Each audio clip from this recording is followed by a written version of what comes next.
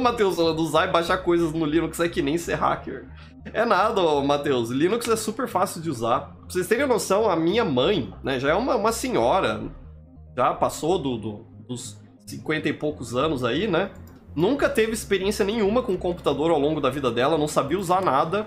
Eu instalei o Ubuntu para ela no notebook antigo que a gente tinha e ela usa tudo que ela precisa fazer, ela faz no Linux, no Ubuntu. E não é uma pessoa com experiência em informática nem nada assim. Essa coisa de que você precisa ser um hacker para usar é, Linux é, é conversa.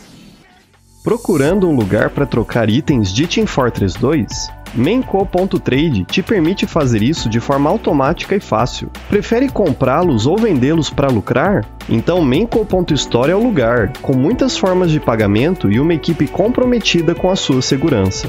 Links na descrição. Não, não, não, não tem porquê não. É, são sistemas bem, bem simples e fáceis de usar. É óbvio que, que, tem uns que são mais complicados, né? Mas se pegar e instalar um Ubuntu aí é, é, sossegado. Ainda mais se o que você vai fazer nele é só mexer na internet, talvez editar um texto, alguma coisa assim, ver vídeo no YouTube. Que é o que a maioria das pessoas que não joga videogame faz com o computador, né? Então é, é sossegado. Chuya falando, pra quem vive de Windows, Linux parece um inferno. É, eu tenho um irmão que odeia. Ele fala, ah, esse Linux aí é muito ruim, sabe? Eu fico pra ele, você não sabe nada.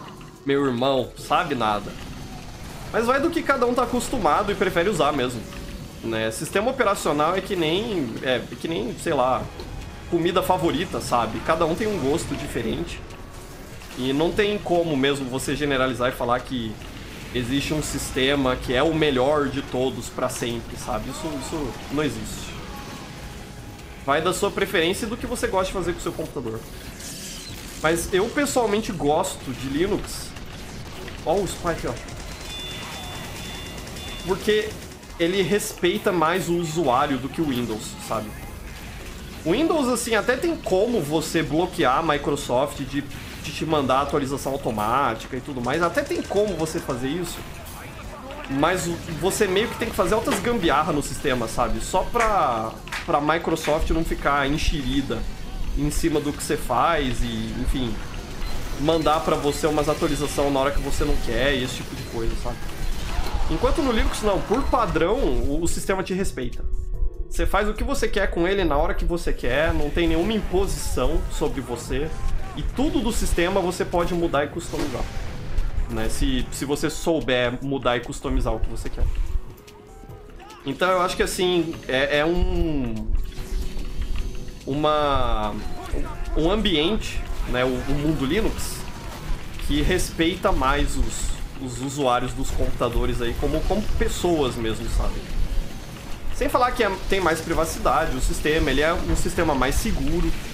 Né? Não é à toa que o pessoal usa muito Linux em servidor. É mais fácil de você manter ele é, com a manutenção bem feitinha e, e, com a segurança em dia. Né? Então é, é isso que eu acho que é interessante do Linux. Sem falar que é grátis, né? Você não paga nada para instalar Linux, então tem isso também, que eu acho que é um grande plus, né?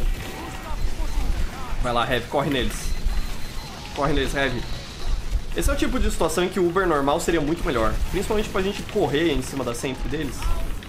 E conseguir destruir base de engineer. Né? Olha os pais,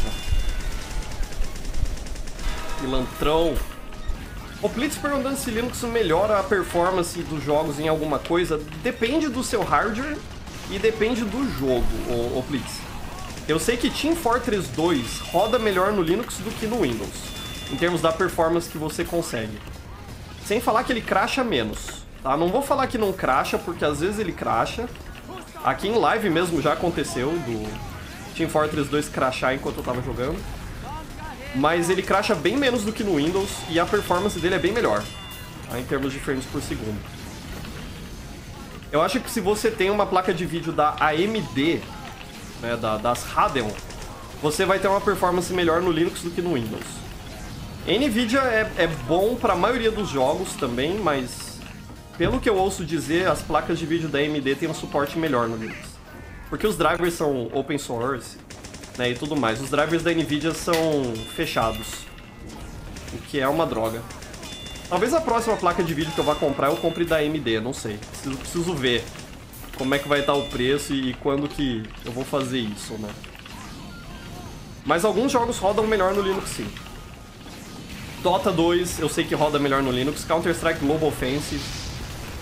Mas como a, a maioria, né, ou é, é, um, é port ou essas coisas, tem, tem alguns que tem uma queda de performance grande.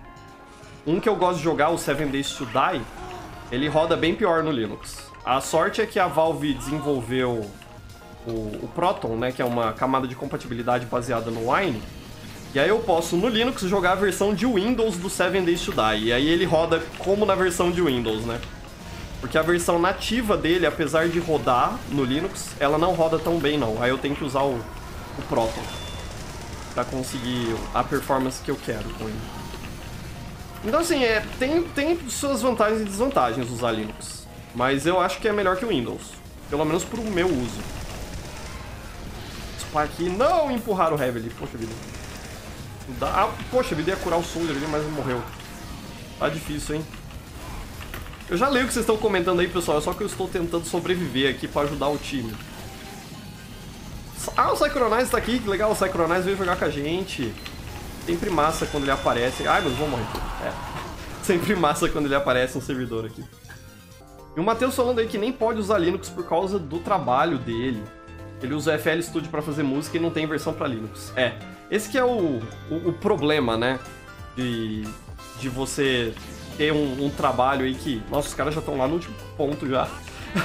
que demanda de você usar o computador. Às vezes a interface da empresa ou né, o que você precisa para um programa específico realmente não dá para você usar. Eu meio que resolvo isso com um notebook pequenininho, simplesinho, com Windows, sabe? Porque quando eu preciso usar alguma coisa que só roda o Windows, às vezes é só um, um sistema que eu tenho que acessar ou alguma coisa no Microsoft Office que eu preciso. E aí eu, eu uso esse meu notebook pequenininho e simples para fazer isso. Mas todo o resto mesmo eu faço no Linux aqui, não tem chabu não. Pra mim funciona bem. Mas eu conheço gente que tá na mesma situação que você, que não, não pode usar porque tem alguma exigência de serviço ou de trabalho. Tem a galera que precisa do Photoshop, por exemplo, ou das ferramentas da Adobe aí, porque o, o, workflow de trabalho dele precisa dessas ferramentas, aí realmente é difícil migrar né, pro Linux. o pessoal perguntando se o Metal Alchemy, rodou perguntando se é, é, melhor que Naruto. Nossa senhora, é um zilhão de vezes melhor que Naruto. E tipo, eu gosto de Naruto e Naruto Shippuden, eu gosto, sabe?